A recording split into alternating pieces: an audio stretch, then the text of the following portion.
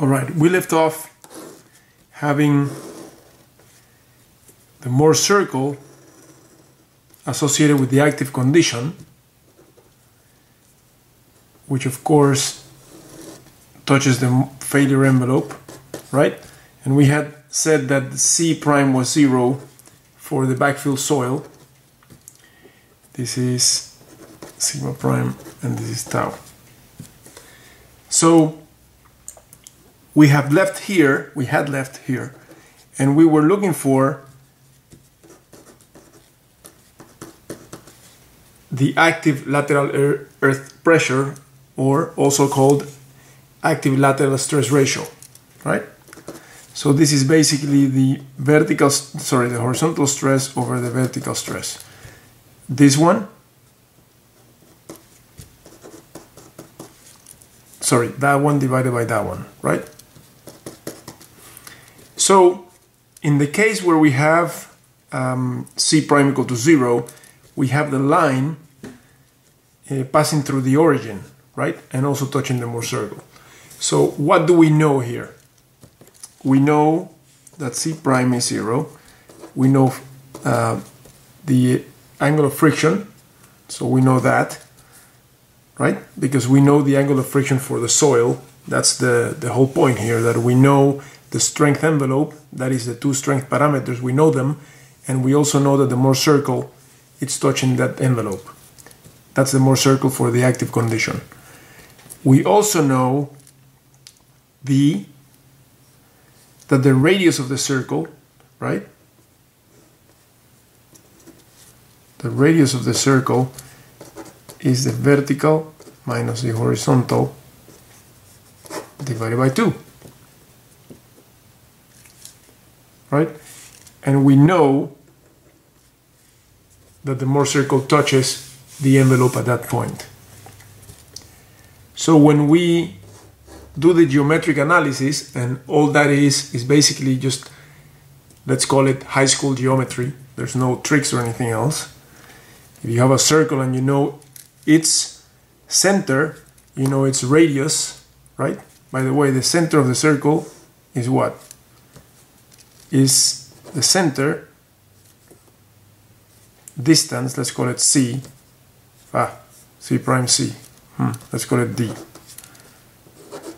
That distance from the origin to the center is what? Is sigma horizontal plus the radius, which you have up here. So once you include all these parameters in your geometric analysis, you find of course, given that the circle touches the envelope, you find that the relationship between the horizontal stress and the vertical stress is tangent squared of 45 degrees minus phi over 2.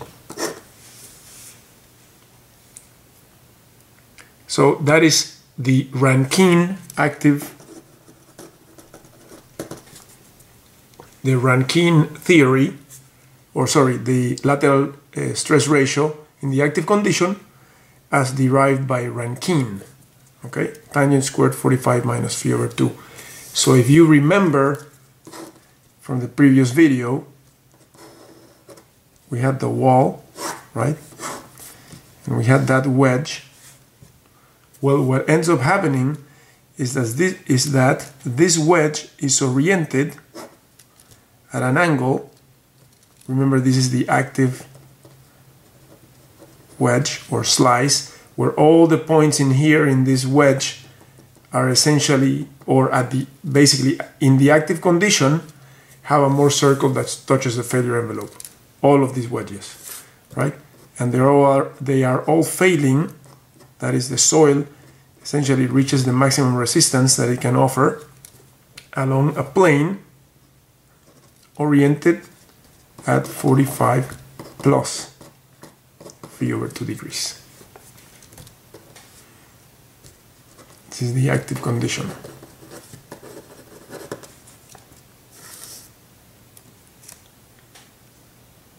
All right.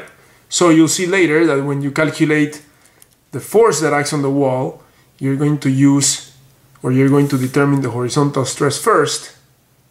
Okay, and to determine that, you're going to take the vertical stress, effective of course, and you're going to multiply it by Ka instead of K naught, K active, because you expect the active condition to uh, be working or operational during the life of the wall. All right. There is another, let me just move this here. There is, of course, the case where the backfill is a soil that has a failure envelope where the cohesion is not zero but some value okay? Typically these are soils that have fines or fine grained soils. So it could be coarse soil with fine uh, coarse soil with fines in it or fine grained soil. So in this case the same thing right the Mohr circle in the active condition touches the failure envelope right sigma horizontal sigma vertical the active k is sigma horizontal over sigma vertical, like any other k, right? But I keep on saying the same thing, just repeating, just for you guys to to um, to get it in your head. K is always sigma horizontal over sigma vertical, obviously primes, right? But K active is the one, or is the the the one K that is associated with the condition where the Mohr circle at a point, right? touches the failure envelope of the soil. In this case, the geometry is different because now that is different than this geometry because here the line crosses the origin. That's the difference. Here the line crosses the y-axis, tau, at the cohesion intercept, right? In this case, case, sorry, Ka is a function of C prime and also Phi prime. it's a more involved equation, a little bit longer, and I will give that to you later on. Um, the reality is that when we backfill walls, we do so with coarse material that generally doesn't have a C prime.